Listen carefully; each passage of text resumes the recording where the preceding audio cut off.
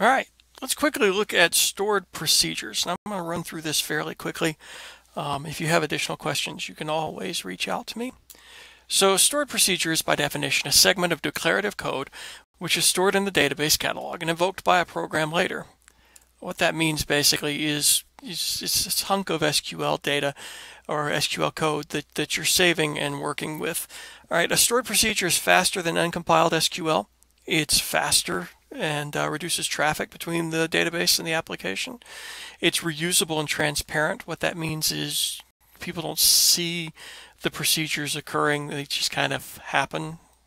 Um, let's look at what a procedure looks like. So you probably notice that the, the SQL here doesn't look terribly different than the things you've done before.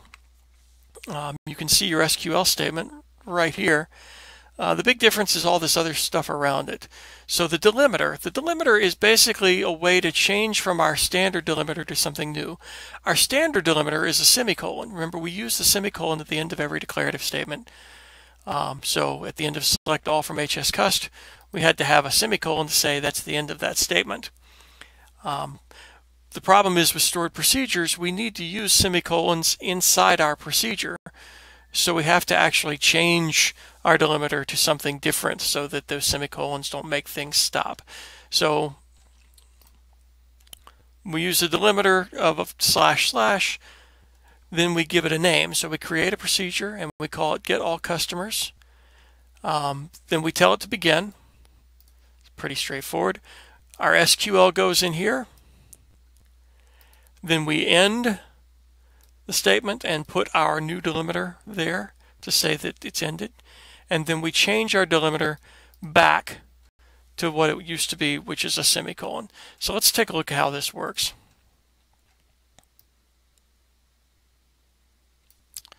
So I'm going to copy this. And I'm going to bring it over here to uh, my local host. We're in home shopping. I'm going to paste this in here. So you can see what's going on. Our delimiter, then we create the procedure, get all customers, then we begin, we tell it to select from hscust end, and then our delimiter. So when we run this, hopefully we won't get any errors.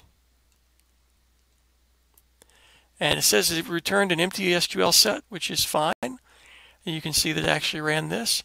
When we go looking for it, we go over here and refresh. Now we can see under home shopping, here we got this procedure. And we can uh, see what that looks like. And there it is. That's the stuff we actually created. Makes sense? Now to use the procedure, what we want to do is we want to call it. So we could call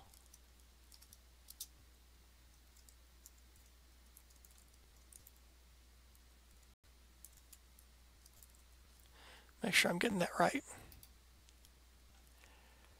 Get all customers.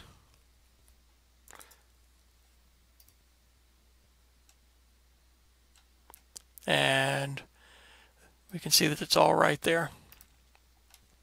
So pretty straightforward. You see how that fits together. Your procedure can be as long as it needs to be. So it might be one line of code. It could be a hundred lines of code. This is what we just did. I just didn't use the home shopping thing. The correct way, if you're going to be really specific about it, instead of just doing what I did and hoping it works. Um, we'll take a look at the syntax here. You see the call, and we call the database what we're calling, and then these brackets. And you saw that SQL is not super, super picky about those brackets, um, but they become important later. So here's where those brackets become important. Our stored procedures can be in, out, and in, out. Now for this class, I don't want you to worry too much about the in, out, and in, out. Uh, just know that they exist. Basically, the in is the default mode, which is the only one I'm going to really show you today.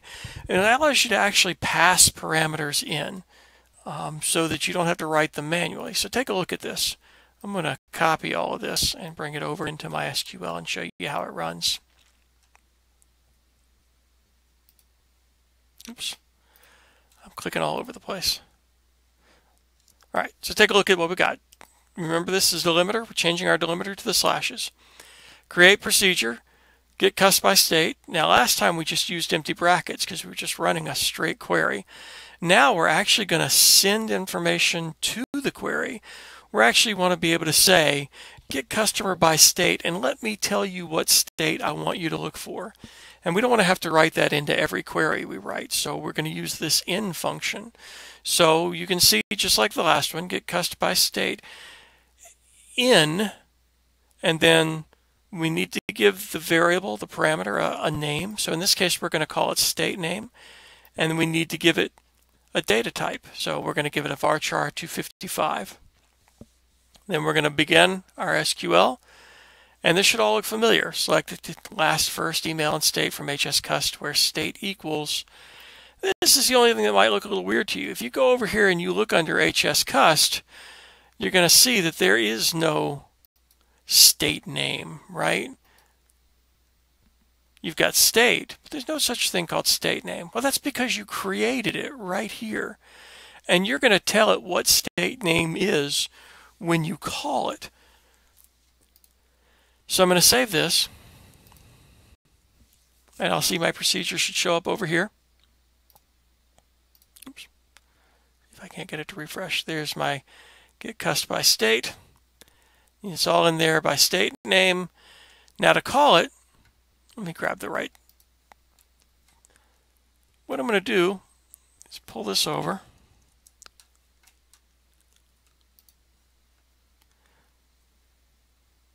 Put this into my SQL. Now, what am I doing? This is just like the last one, only inside the brackets now I'm doing something. In this case, I'm going to do AZ. I'm going to copy this because I'm going to give you another example here in a second. So now I'm still calling this procedure called get cust by state, and I'm saying replace that field state name with the value AZ. Now watch what happens. It passes that AZ over to my query,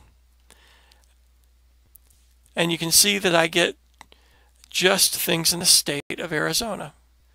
So over here, remember my query said select last first email state from hscust where state equals, and then I changed the state name to AZ when I passed it over.